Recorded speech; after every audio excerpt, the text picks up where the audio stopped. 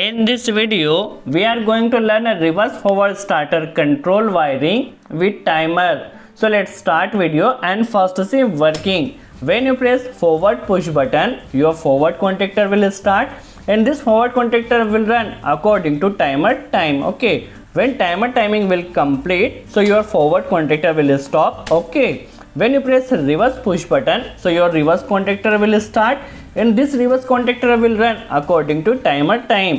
When timer timing will complete so your reverse contactor will stop automatically according to timer time. So in this video we will learn a complete wiring and working of this reverse starter control wiring with timer. So let's start video and first see which component is required for this control wiring. So we connect one forward contactor. You can see here and one reverse contactor. Also we connect one overload relay which is connected with forward contactor. We connect one timer for controlling forward contactor. So this timer is connected to control forward contactor and this timer is connected to control reverse contactor. So we connected two timer for controlling forward contactor and reverse contactor. We connected three push button First is NC element stop push button. This push button is forward start push button and this push button is reverse start push button. So we connect three push button. So before the start control wiring, first is a basic concept of timer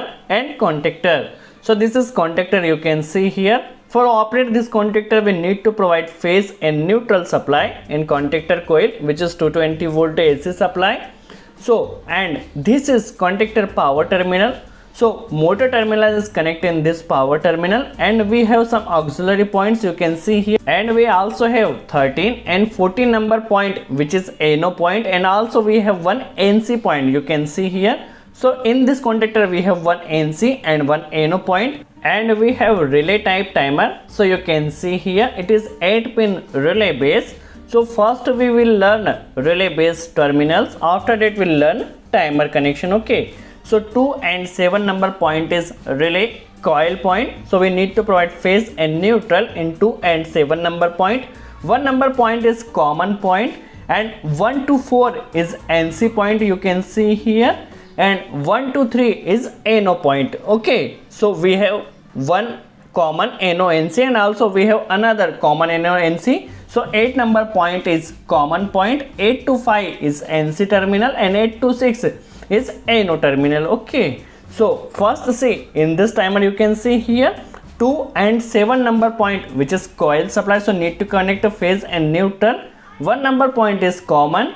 So 1 to 4 is NC terminal so you can see here 1 to 4 is NC and 1 to 3 you can see here 1 to 3 is NO point okay. And also 8 number point is common point 8 to 5 is NC point and 8 to 6 number point is NO point. Okay, hope you clear the concept of this relay type timer. First we provide neutral connection in forward contactor also forward timer and reverse contactor and reverse timer.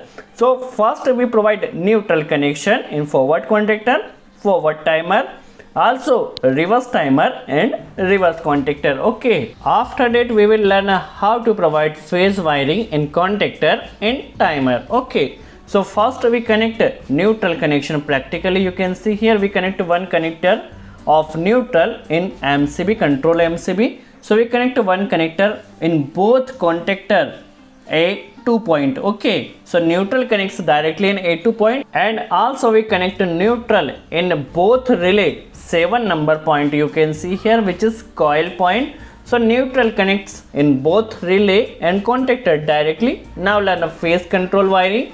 First phase connect in overload relay nc point so that our starter when overloaded so it will trip and our motor will save and after that we connect a stop push button.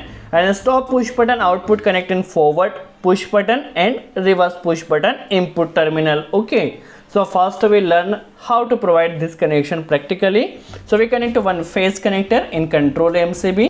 This phase connector first connect an overload relay NC point which is 95 number point and output of this NC point which is 96 number point. So we connect another connector from overload relay NC output terminal which is 96 number point and connect this connector to stop push button NC element input terminal okay so first we connect this connector in stop push button NC element input terminal. Okay. First we connect here and output of this stop push button NC element connect in forward push button input terminal also reverse push button input terminal so we connected two connector here. First for forward push button and second one is for reverse push button. When we press forward push button our forward contactor should run. And when we press reverse push button so our reverse contactor should run. So first learn for control wiring for forward push button. When you press forward push button forward contactor will run. But because of interlocking we use reverse contactor NC terminal because forward contactor will run only when reverse contactor is in a stop condition. Same control wiring for reverse contactor. When press reverse push button reverse contactor should run. But for interlocking we use forward contactor NC terminal because when forward contactor will stop so your reverse contactor will run because of interlocking okay? So first learn a control wiring for forward contactor and after that we will learn control wiring for reverse contactor. Okay. So we connect one connector from forward push button output terminal and this connector from reverse contactor NC terminal because of interlocking. Okay. When reverse contactor is in a stop condition so your forward contactor will run. Okay. So when reverse contactor stop so this nc supply will pass and connect in forward contactor a1 terminal. Okay neutral connects directly in a2 terminal and phase connect with reverse contactor nc terminal you can see here. Same connection for reverse contactor so we connect one connector from reverse push button. And because of interlocking we use forward contactor nc terminal which we see in drawing. Okay so we connect one connector for reverse contactor and connect this connector to forward contactor ANC terminal because of interlocking. Okay when forward contactor is in stop condition so this supply pass in this NC terminal and connect and reverse contactor A1 coil okay same connection for reverse contactor as we done for forward contactor okay now our manual connection is done. When we press forward push button, so forward contactor will run. When we press reverse push button, so reverse contactor will run. Let's see. When we press forward push button, so forward contactor will run. When you press reverse push button, so reverse contactor will run. But only for when you press push button. Now learn how to operate timer. Okay. So we connect one connector from forward contactor coil to forward timer coil okay and for reverse contactor coil to reverse timer coil okay when your forward contactor will operate so forward timer should run when reverse contactor will operate so reverse timer should run okay. So we connect one connector from forward contactor coil to forward timer coil and for reverse contactor coil to reverse timer coil okay. So we connect one connector from forward contactor coil A1 terminal to forward timer coil and for same connection for reverse contactor reverse contactor A1 coil to reverse timer to number point okay? So when forward contactor will start so forward timer will start. When reverse contactor start so reverse timer will start okay? Now learn how to provide a holding connection okay? So we connect a holding supply from nc push button output terminal and connect this supply to forward contactor NO terminal and reverse contactor NO terminal okay? And connect this connector to forward timer common point and NC point okay? When your timer timing is run so your supply will comes and provide holding. Same connection for reverse contactor. Reverse contactor NO terminal connect in reverse timer NC terminal okay when timer timing is run so your starter will run. When timer timing will complete so your starter holding will cut with timer nc point. Okay. Now for holding connection we connected two connector. One for forward contactor and one for reverse contactor okay. So we take this holding supply from nc output terminal or no input terminal. Okay. So we connect this holding supply from forward push button input terminal so we connected two connector here. First of all forward contactor NO terminal okay. When forward contactor operates so NO makes NC and supply will pass. Same connection for reverse contactor. When reverse contactor operate so this supply will pass okay. Now connect this NO terminal output to forward timer NC point and same for reverse contactor okay when timer timing will run so this supply comes in NC terminal. When timer timing will complete so this holding supply will cut for both the timer. Okay you can use any of the timer point common in NC terminal. You can see here 8 and 5 is common in NC also we have 1 and 4 number point is common and NC point. Okay so we will use 4 and 1 number point. 4 is NC point, 1 number is common point. Okay. So we will use timer 4 number point and 1 number point. Okay. And same for reverse timer, we will use common and NC point. Okay. So first learn forward contactor wiring. Now NO output connect in forward timer NC point. Same for reverse timer. So we connect NO output connector to reverse timer 4 number point NC point okay.